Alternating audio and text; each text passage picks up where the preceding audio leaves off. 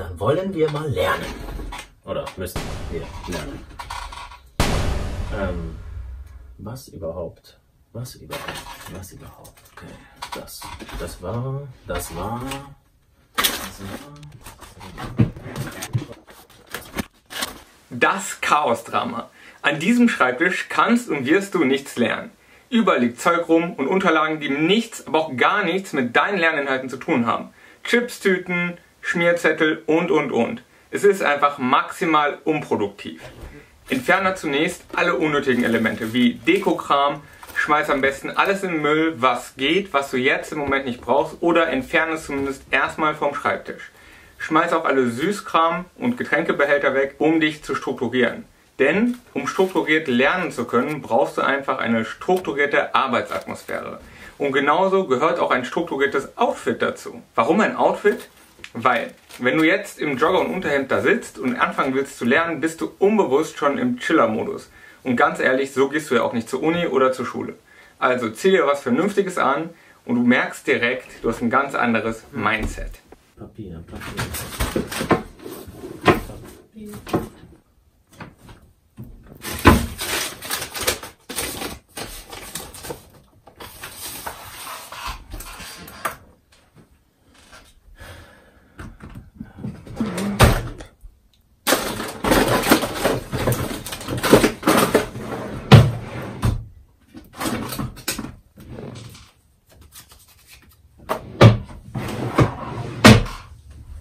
Bleistift.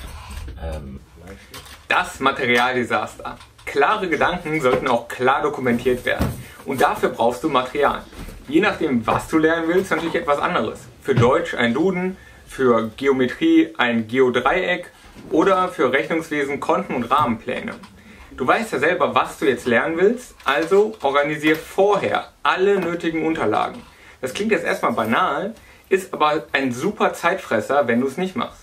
Denn wenn du erst in der Aufgabe anfängst, deinen Taschenrechner zu suchen und findest ihn nicht, dann ist die Gefahr riesengroß, dass du unkonzentriert und abgelenkt wirst.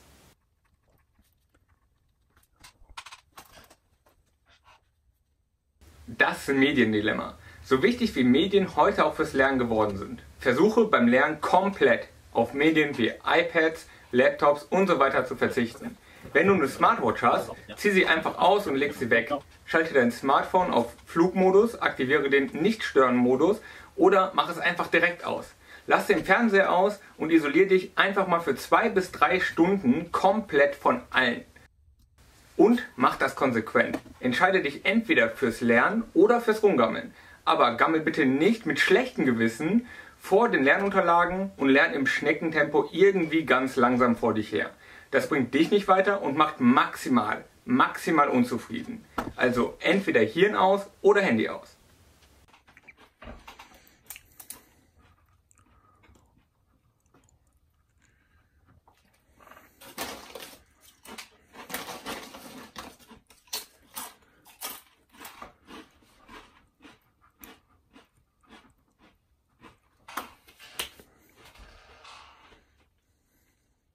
Das Food-Fiasko. Sich und sein Gehirn auch während einer Lernsession ausreichend mit Nährstoffen und Flüssigkeiten zu versorgen, ist für die Aufrechterhaltung deiner Konzentrationsfähigkeit und Leistungsfähigkeit mega wichtig. Das hier ist allerdings Bullshit. Denn Fette ja, aber besser mehrfach gesättigte Omega-3-Fettsäuren. Und anstatt den kurzkettigen Kohlenhydraten, nimm doch besser langkettige. Wie das geht und worauf du achten musst und wo du die leckeren Rezepte für dein Brain Food herbekommst, das zeigen wir dir hier.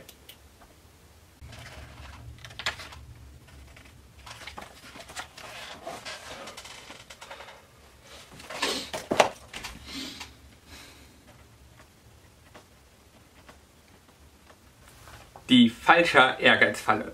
Du musst noch eine ganze Menge lernen, fängst an und findest einfach kein Ende. Deine Konzentrationsfähigkeit lässt nach und irgendwann lernst du im super Schneckentempo und bist mega fertig. Mit der Welt aber nicht ansatzweise so weit gekommen, wie du dir das vorgenommen hast. Ging uns auch oft so. Zum Glück gibt es aber dafür eine Lösung. Für dieses Problem heißt die Lösung Pomodoro-Technik. Auch dazu haben wir dir hier ein kleines Video vorbereitet, in dem du siehst, wie diese Technik funktioniert. Sie verhindert das Absinken deiner Leistungsfähigkeit und erhöht deine Lernleistung signifikant. In 25-minütigen Mini-Sessions hast du kleinere Lernziele, die dann kumuliert dein großes Lernziel wiedergeben. Und du schaffst deutlich mehr in weniger Zeit und bleibst motiviert und leistungsfähig. Jetzt kennst du die Big Five der Lernblockaden. Vielleicht hast du dich auch in ein oder anderen Punkt erkannt. Uns ging es ähnlich. Und wir haben Lösungen gefunden. Und die hast du jetzt auch gesehen. Uns würde aber mal interessieren, welche Lernblockade von diesen fünf war deine Lernblockade? Schreib es doch einfach gerne mal in die Kommentare. Und wenn dir das Video gefallen hat oder du jemanden kennst, der einer dieser Lernblockaden auch hat oder schon mal darin verfällt, dann schick ihm doch einfach dieses Video, teile den Link und vor allem abonniere unseren Kanal, damit du auch in Zukunft immer auf dem neuesten Stand bist in Sachen BWL und vor allem Psychologie.